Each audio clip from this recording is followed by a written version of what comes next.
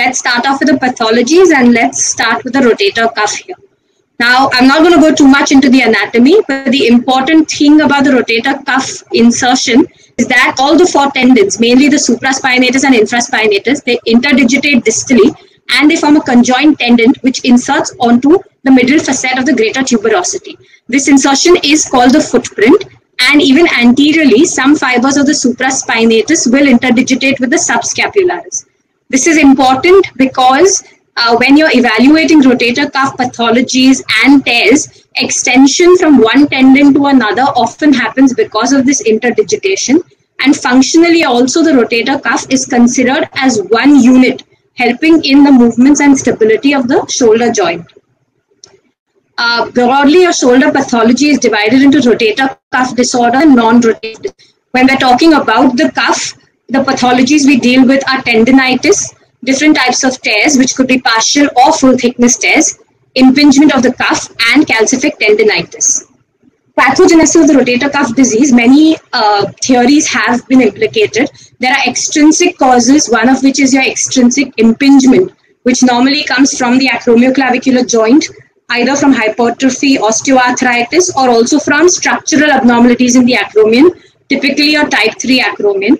Then trauma uh, or a repetitive microtrauma from overuse of the shoulder are all the exit causes. Intrinsic causes are degenerative changes within the cuff itself, which could be age related, could be due to underlying metabolic or vascular causes.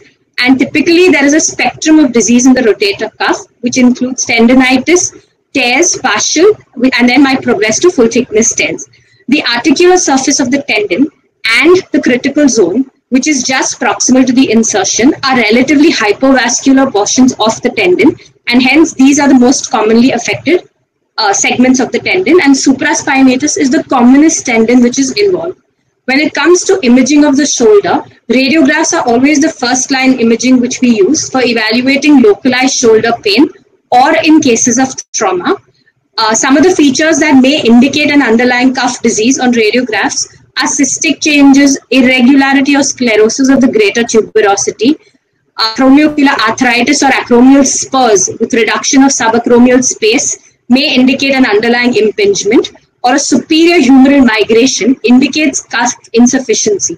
This is an important uh, finding on a radiograph because if this is missed, then a rotator cuff uh, abnormality might actually just be missed. Sonography, high resolution sonography is a very, very sensitive method for evaluating the cuff itself and can pick up the entire spectrum of cuff disease.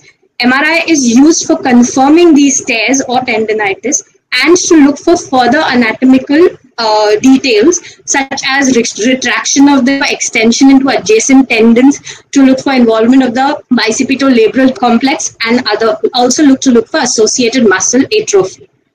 Uh, the technique has already been covered, so I'm not going to go into this. Important is to get the planes right for coronal sagittal images so that we are planning our sequences along the supraspinatus tendon itself.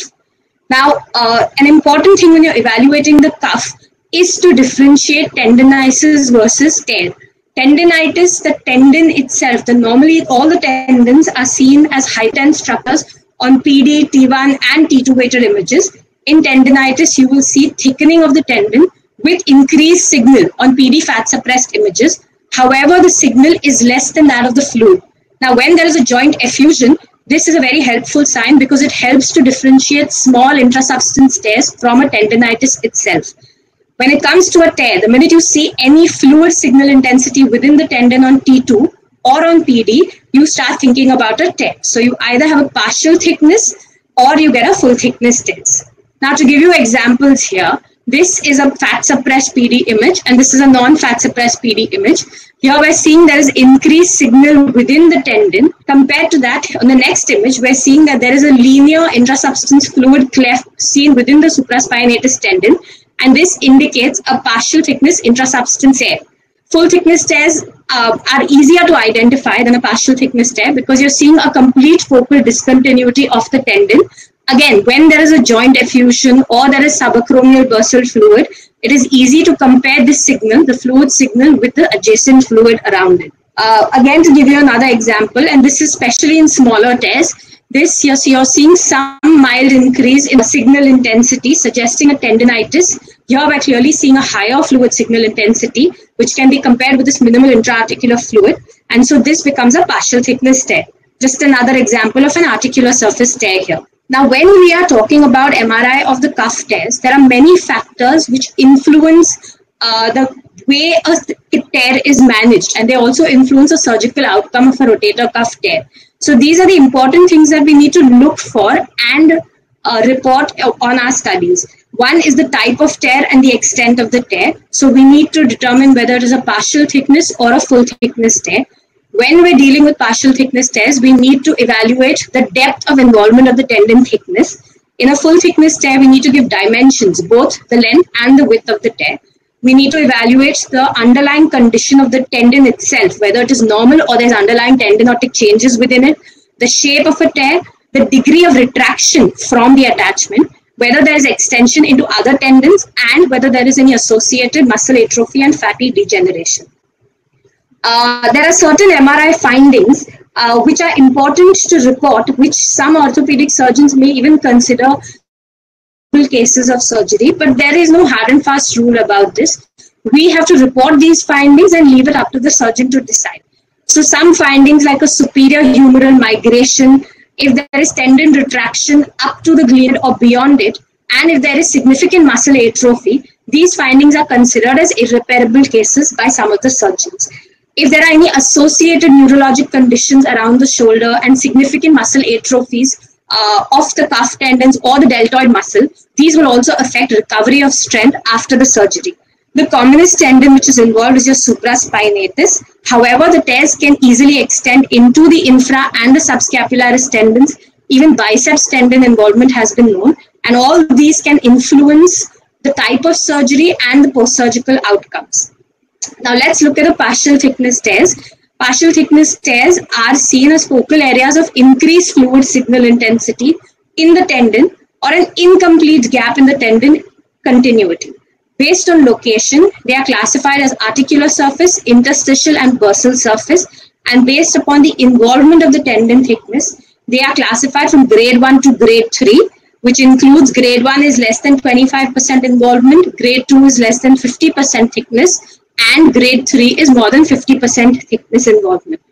It is important to identify grade 3 tears because these are normally the ones which can be treated surgically and if left untreated, they can progress to full thickness tears. Smaller tears may be treated non-surgically also, especially in asymptomatic cases. So let's look at the partial thickness tears. Now, based on location, what we have to see is that there is a discontinuity in the articular surface of the tendon here, but you can see that the overlying bursal surface is smooth and the fibers appear to be intact. So this becomes an articular surface tear. Here we're seeing that both the bursal and the articular surface of the tendon appear to be intact, but there is a linear intrasubstance gap which is seen and hence this becomes an interstitial tear partial thickness. Coming to the bursal surface tears, you can see a discontinuity in the bursal surface. The rest of the tendon appears to be smooth. Although there is increased signal intensity and it's tendinotic, the fibers appear to be smooth. So this becomes a partial thickness bursal surface tear. Based on the depth of involvement, the tears are graded as grade 1 to grade 3. So to show you, this is just a subtle cleft in the articular surface fibers. Here there is about 50% involvement of the tendon thickness. And this is a high grade or a grade 3 partial thickness articular surface tear where there's only bursal surface fibers seen. Similarly, uh, with the bursal surface fibers also they can be graded. This is a grade 2 where 50% of the tendon thickness is involved. And this is a high grade bursal surface tear where there's only a few articular fibers which are intact.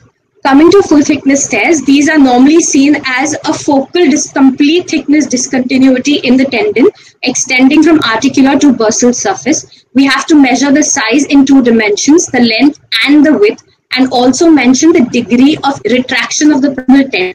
Now, because of the contiguous insertion of the rotator cuff tendons on the greater tuberosity, tears can extend from one tendon to another and looking for these, especially on sagittal images, is very, very important. The size of the tear can affect the type of surgery which may be considered, whether it's an open or an arthroscopic surgery. It can also influence post-surgical recovery rates and can also affect recurrence rates of tears. Full thickness tears have been classified based on size as small, medium, large, and massive. But uh, again, it is important to mention the dimensions rather than get into uh, different classifications. Certain findings like superior humeral migration, tendon retractions medial to the glenoid, or significant fatty atrophy or muscle atrophy are considered irreparable by some surgeons. Now, a full thickness tear will be seen as a complete gap. Here we're seeing the supraspinatus tendon and there is a complete gap which is seen near the insertion of the supraspinatus tendon. So this becomes a full thickness insertional tear. Here, the insertion of the tendon appears to be intact, but there is a full thickness tear in the critical zone. These are the two areas of the supraspinatus tendon which are most prone, and this is just uh, degrees of retraction which there are. Here, the proximal tendon is quite close to the attachment. Here, the tendon is retracted up to the level of the acromion, and here the retraction is beyond or up to the level of the glenoid. So, mentioning the degree of tendon retraction is also important in our images. These are examples of smaller full thickness tears. Uh, here we're seeing a full thickness tear near the insertion. Length of the tear is, so this is how you measure it in two planes. You give the length and on sagittal images, you also give the width. You can see the rest of the tendon, supraspinatus tendon appears to be quite thickened and tendinotic, but otherwise uh, that is only really seen on the anterior part of the tendon. This is a full thickness focal critical zone tear. Again, we have to measure the length of the gap and we can see that the insertion appears to be intact. Uh, just again, uh, just smaller examples of, uh, you know, the smaller tears where you're seeing not much retraction of the tendon and the importance of seeing the tendon and tracing the tendon on all three planes. You can also see the, ten the tear on axial images. You can see the discontinuity very well on sagittal images and look at the other rotator cuff tendons also on sagittal images.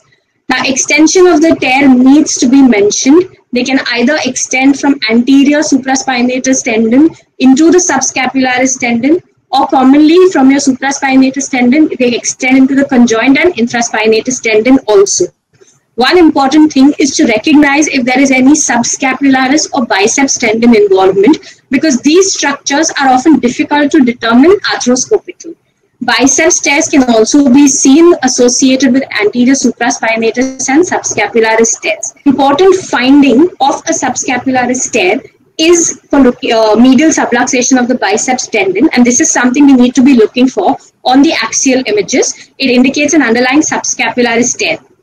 So just a few examples of tear extension. Here we're seeing a focal tear at the insertion of the supraspinatus tendon. There's also reduction in the subacromial space and a prominent inferior acromial spur. Now, when we look at the sagittal images, we see that the conjoined tendon itself appears to be quite thickened and there is a lot of irregularity of the uh, tendon at the insertion, whereas the posterior infraspinatus fibers appear to be intact. So this here, there is extension into the anterior infraspinatus tendon also which is seen. Now this is an anterior supraspinatus tear. The degree of retraction is almost to the glenoid. We can see that there is an extension into the infraspinatus sink also. So this is, uh, again, on the sagittal images, you can see the footprints and the insertions of all the tendons. Here anteriorly, you can see the subscapularis, the insertion of the supra and the infraspinatus is gone. A few infraspinatus fibers are there and this is the teres minor C. In anterior supraspinatus tears, when you look at the axial images, you can clearly see here that there is an empty bicipital groove. And if you scroll, you're able to trace the biceps tendon. So the biceps tendon has moved medially, almost uh, lying adjacent to the glenoid fossa this is called as medial subluxation of the biceps tendon. And this is the retracted subscapularis muscle and tendon complex. So this is basically a case of anterior supraspinatus tear and a subscapularis tear seen in a case of trauma.